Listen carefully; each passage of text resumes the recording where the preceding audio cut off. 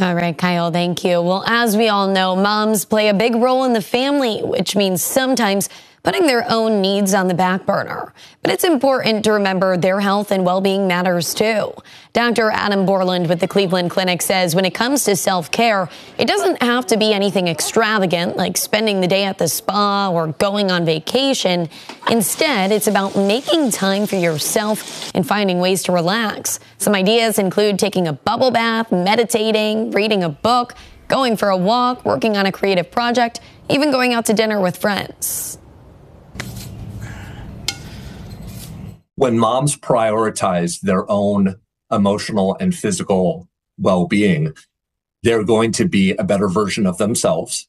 They're going to feel better physically and emotionally, which then is going to make them a better mom, a better spouse, a better friend, a better family member.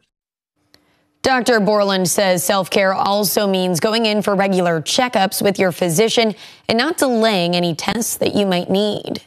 Hi everyone, I'm Lindsay Watson. Thanks for watching the WKBN 27 First News YouTube channel. If you want more video news, subscribe to our channel and don't forget to download the WKBN 27 First News app for breaking news alerts.